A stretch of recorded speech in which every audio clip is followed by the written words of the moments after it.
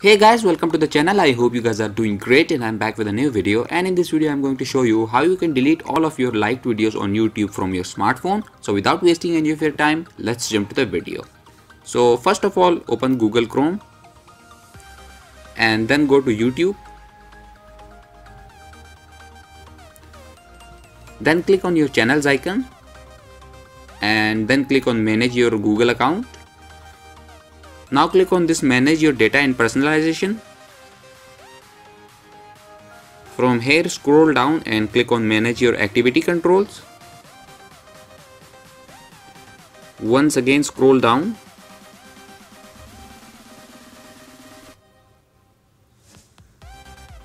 And then under the YouTube history tab click on manage activity. Now click on these three lines and click on other Google activity. Once again scroll down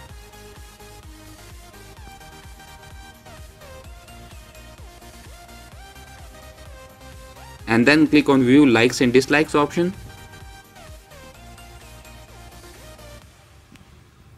Here you will see the list of all liked and disliked videos. So in order to delete them, click on these three lines and then click on this delete all option.